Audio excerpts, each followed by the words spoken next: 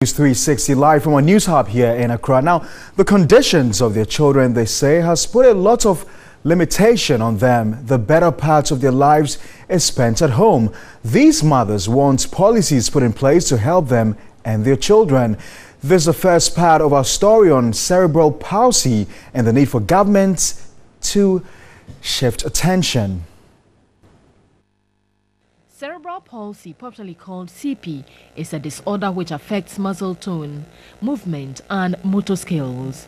The condition affects the ability of one to move in a coordinated and purposeful way. It is one of the most common congenital disorders of childhood.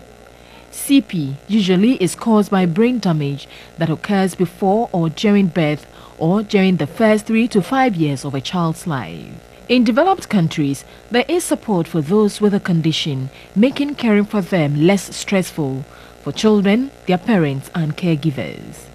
But same cannot be said for Ghana. Mothers here go through frustrations and rejection whilst caring for their children. 39-year-old Malwin Amwako has an 8-year-old child with cerebral palsy. At 8, Same cannot walk, sit well, or even talk and this places restrictions on her mother.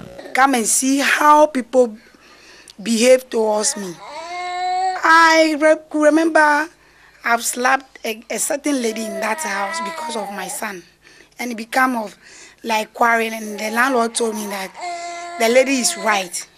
He himself he don't understand the reason why he accepted me in the house with this kind of child. So along the line, he just gave me a letter to leave the house, and I left and I came here.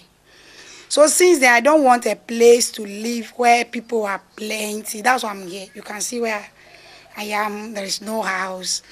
And I like it like that. I need my peace of mind to move forward. Malwin tells the news team her husband has divorced her. Some landlords refused her accommodation and no school would admit her child and called for policies to be in place to forestall numerous challenges confronting her. Lois Sefako Avemega is the first child of her parents. Though fortunate to have a supportive and caring family, her condition has come with a lot of challenges for her mother. I got my diploma uh, when I was pregnant with her, but because of her condition, I wanted to do the distance education degree, but I couldn't leave her in the house in Engu because of her condition. So indirectly, it, what you are saying is true. It has really affected my education in a way. Because if it had not been here, I would have just lived with my mother or she, eight years. A child is going to be eight years. She can handle her junior siblings.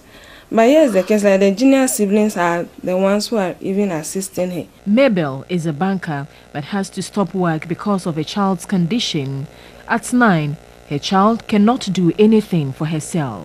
It's not easy because this is a situation whereby you can't go to work with her, always you are in the house with her, taking care of her. So it's like with her, life is very challenging. So I wish I'll have a place to take care to, at least for me to be able to work. These are the stories of just a few of the many women who have sacrificed a lot because systems are not in place to support them.